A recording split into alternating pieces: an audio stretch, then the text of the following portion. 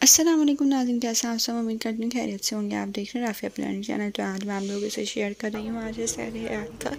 बारात और बारात वाले दिन कमल आफ्ताब और सैर आप बहुत इंजॉय कर रही हैं। आपस में खा रही हैं और आपस में बहुत गपशप कर रही हैं। इनकी बातें आप मेरी वीडियो में सुन सकते हैं।